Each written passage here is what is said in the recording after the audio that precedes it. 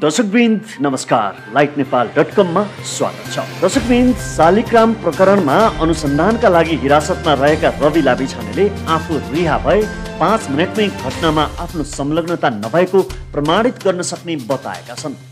रविकी श्रीमती Nikita पौडेलको Facebook status मार्फत रवि लामिछानेले यस्तो बताएको उल्लेख गरिएको छ। फेसबुक स्टाटसमा लेखेको छ यो घटनालाई लिएर प्रहरीले मलाई पाँच वर्ष नै थुन्ने नियत देखाएको हुँदा देश तथा विदेशमा रहनुभएका मेरा सम्पूर्ण शुभचिन्तकलाई म के भन्न चाहन्छु भने मलाई हिरासतबाट निकालेको पाँच मिनटभित्रै यो घटनामा मेरो कहीँ कतै संलग्नता छैन भनेर म प्रमाणित गर्न सक्छु। रविले घटनाको छानबिनमा प्रहरीले समय लगाएको र आफूलाई नियत बस फसाउन लागेको आरोप लगाएका छन्। साउन तिस गते शालिग्राम पुडासैनी प्रकरणमा रवि सहित युवराज कणेल र अस्मिता कार्कीलाई नियन्त्रणमा लिएको थियो। उनीहरूको पाँच पाँच गरी दस दिनको म्याद थप गरेर अनुसन्धान भइरहेको छ।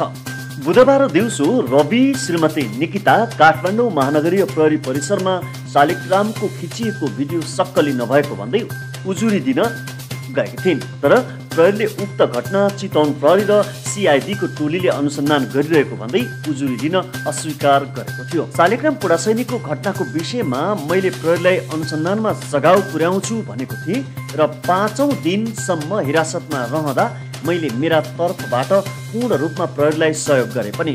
म र मेरा सहकर्मी युवराज कणेल र यो घटनामा नाम जोडिएकी अस्मिता कार्की रुकुको बयान लिए पश्चात यो घटनामा हाम्रो कहीँ कतै संलग्नता नदेखिएको पोइन्ट वाइज स्पष्ट भइरहेको बेला फेरि पाँच दिनको म्याद थप्दै प्रहरीले चलाएको कदम हामीलाई फसाउने गरी सुनियोजित र नियतपूर्ण रहेको स्पष्ट पार्न चाहन्छौँ। पाँचौँ दिनसम्म मैले प्रहरीसँग आफू सुरक्षित रहेको महसुस गरेको थिएँ तर तर आजबाट भने म प्रहरीसँगै नै असुरक्षित भएको महसुस गरेको छु। बयानका लागि मेरा भनाइ समावेश गरिरहँदा म हिरासतबाटै केही प्रश्नहरू पनि गर्न चाहन्छु। जबकि प्रहरीको वर्दी लगाएका बेला एसपी दानबहादुर मल्लजीले शालिग्रामको भिडियो म्यासेज प्रहरीसँग मात्र सुरक्षित रहेको दावी गरिरहेका बेला उक्त भिडियो कहाँबाट कसरी लिक गरियो? भन्ने विषयमा अनुसन्धान अगाडि बढाउनु पर्ने थियो कि थिएन। र अर्को कुरा यदि त्यो भिडियो परिवारबाट बाहिरिएको हो भने परिवारलाई पनि उक्त भिडियो सार्वजनिक भएको विषयमा सोधपुछ गर्नुपर्छ कि पर्दैन? तसर्थ अन्यतर्फको अनुसन्धान अगाडि बढाउनु पर्नेमा अनुसन्धानका लागि भन्दै प्रहरीले मेरो फोनको कल डिटल निकाल्न समय लगाएको विषयमा पनि म प्रश्न गर्न चाहन्छु। प्रहरीले दुई दिनभित्रै कल डिटेल सजिलै निकाल्न सक्छ तर मलाई फसाउने नियतसहित समय लम्बाएको विषयमा मैले आफूलाई यहाँभित्र असुरक्षित रहेको महसुस गरेको छु।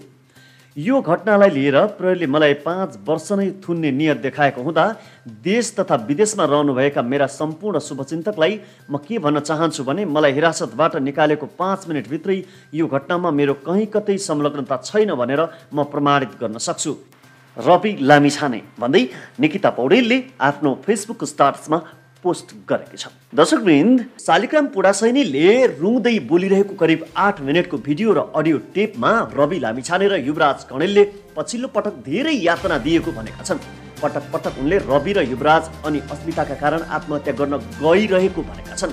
उनले भिडियोमा विज्ञापन एजेन्सी मार्फत बालुवा ठेकदार सिमेन्ट लगायत ठुला कम्पनी र व्यापारिक घरानाबाट रविले सिधा कुरा जनतासँगको डर देखाएर करोडौँ कमाउने गरेको पनि बताएका छन्। रात दिन काम लगाएर मलाई कम मात्रै पैसा दिने कराउँदा कराउँदा बल्ल तल्ल अठार हजार तल पुग्यो। थोत्रो मोटरसाइकलको मर्मतमै मासिक चार पाँच हजार खर्च हुने कोठा भाडा यताउता सबै त्यसैले पुर्याउनु पर्ने प्यारी सम्झना मैले कसरी सक्नु? रवि दाई मलाई मर्न बाध्य बनाएकोमा तपाईँलाई पाप लाग्छ। उनले भिडियोमा भनेका छन् केही दिन दुखीहरूको उद्धार पनि गर्नुभयो। तर अरूको प्रगति देख्न सक्नु भएन। दुनियाँलाई थर्काउनु भयो। ढिलो चाँडो दुनियाँले तपाईँको असली रूप देख्नेछ। मसँग प्रमाण छ। आज नभए पनि भोलि तपाईँको पापको घडा भरिन्छ। त अब फसिस भन्दै मलाई मर्न बाध्य पारेकोमा त्यो पापले तपाईँलाई पोल्नेछ कुमारीको घर बेचेर रामकोटमा घर बनाउन श्रीमतीलाई सल्लाह दिँदै रुँदै दुई हात जोडेर उनले भनेका छन् सम्झना तिमी भर्खर बाइस तेइस वर्षकी भयो अर्को बिहे गर मलाई माफ गरिदेऊ। आफूलाई दुरुपयोग गर्न गरिएको योजना बारे पनि पुरासाई बोलेका छन्। मैले न्युज ट्वेन्टी फोर छोड्छु भन्दा रवि र दिपक भएर त्यसो नगर बरु डिपेन्डेन्ट भिजामा अस्ट्रेलिया पठाइदिन्छौँ भन्दै रालुका गाविस ओखलढुङ्गाकी अस्मिता कार्कीको पछि लगाए उनले भनेका छन् त्यही केटीलाई मैले बिपी स्मृति हस्पिटल वसुन्धरामा जागिर लगाइदिएँ। पुतली सडकको कन्सल्टेन्सीमा पनि बिहान बिहान पुर्याइदिएँ। पछि उनले उल्टै खाते भन्दै मलाई हेप्न थाली म ऊबाट टाढिँदै गएँ। त्यही क्रममा मैले न्युज ट्वेन्टी फोर टेलिभिजन छाडिदिएँ। त्यस बापत मलाई उनीहरूले त्यही केटीलाई बलात्कार गरेको भनेर फसाउने षड्यन्त्र गर्नुभयो। त्यसकारण म अब यस संसारमा यसै गरी बाँचिरहन चाहन्न। कुरा सैनीले भिडियोमा बोलेका छन्। दर्शकबिन्द यही विषयलाई लिएर दीपक बोहरा फेसबुक लाइभमा आएर बोलेका छन्। यो पनि हेर्नुहोस्। पछिल्लो समय देशमा हत्या र आत्महत्या जस्ता घटनाहरू दिन प्रतिदिन बढ्दो मात्रामा घटिरहेका छन्। यही क्रममा एउटा पत्रकार जस्तो व्यक्तिले आत्महत्या गर्दा त्यहाँ विभिन्न खालका प्रश्न चिन्हहरू खडा भएका छन्। त्यसमाथि पनि एउटा पत्रकार आफू मर्नुभन्दा अगाडि भिडियो नै बनाएर केही बोलेर मरेको छ। यो विषयमा छानबिन होस् अनुसन्धान होस् कोही पनि निरपराधी र निर्दोष नफसोस्। वास्तविकता के हो? यो भित्रको रहस्य के हो? छानबिन होस् र अनुसन्धान होस्। सत्य तथ्य बाहिर आओस् र अपराधीलाई कडाभन्दा कडा कारवाही होस्। तर कोही पनि निरपराधी र निर्दोष नफसोस्। न्याय हुन्छ कि? भन्ने तवरले चाहिँ हामीले यो कदम चाल्नुपर्ने जरुरी देख्यौँ।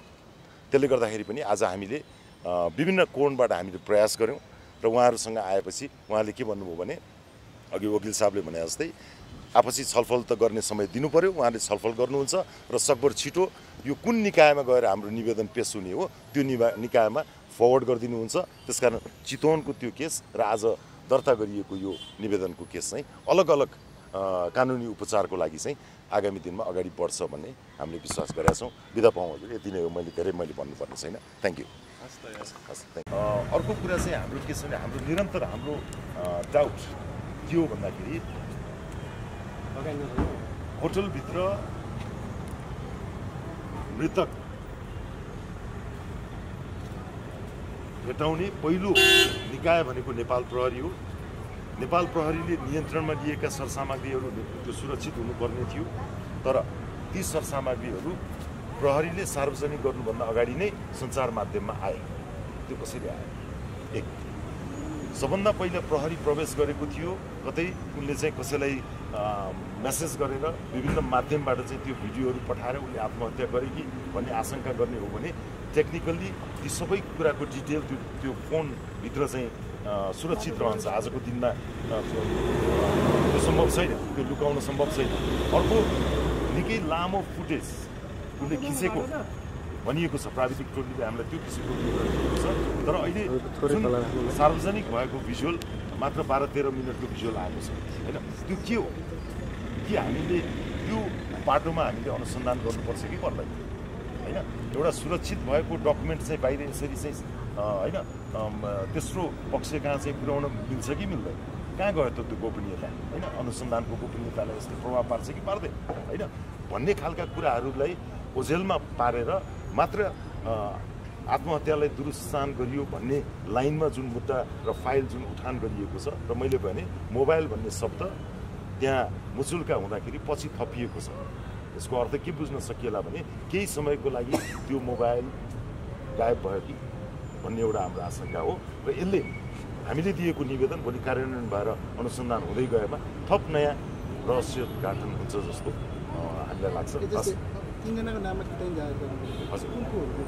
होइन अब चितवन एसपी दानबहादुर मल्लजीको नाममा गयो किनभने सम्बन्धित निकाय उहाँ उहाँले भन्नु होला मैले केन्द्रीय प्रयोगशालामा पठाएको थिएँ प्रहरी प्रधान कार्यालयमा पठाएको थिएँ होइन त्यही अनुसारले चाहिँ भोलि सर्दै जाला तर हामीले काहीँ न काहीँ त टेक्ने ठाउँ त हामीलाई चाहियो होइन प्रहरी प्रमुखको नाताले उहाँको नाम किटान गर्नुपर्ने हामीलाई बाध्यता हो त्यसपछि हामीले अहिलेका कार्यवाहक अध्यक्ष प्रेस काउन्सिलका कार्यवाहक अध्यक्ष किशोर श्रेष्ठ उहाँलाई किटानी गऱ्यौँ व्यक्तिगत रूपमा पनि रविसँग उहाँको निकै मनमुटाव भएको मैले देखेँ।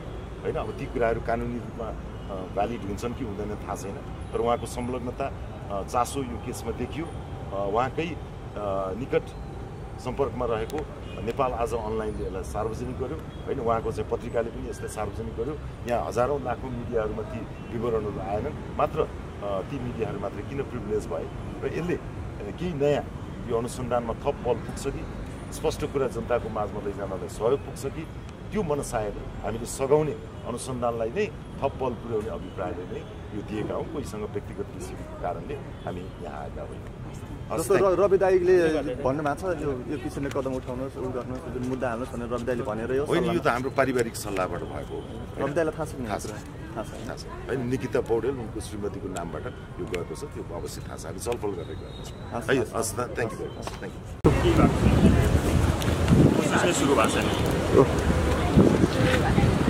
केही नभए नि भएछ नि त।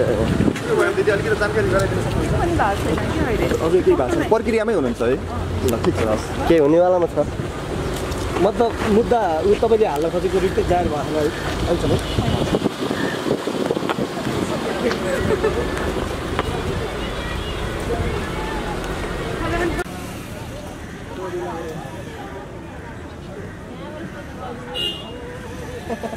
त्यसको म भिडियो खिचिरहेको छु कि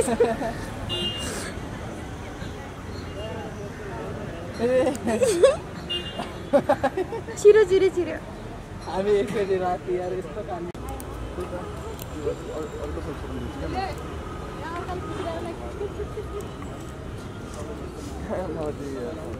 हामी बेला बेला गर्नु पर्दैन यहाँ सोधौँ यो साइडमा गरौँ कि यो साइडमा गरौँ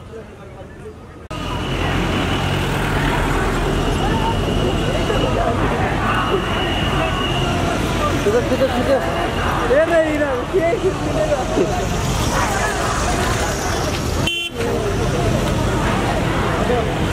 गराउँ न गराउँ न गराउँ न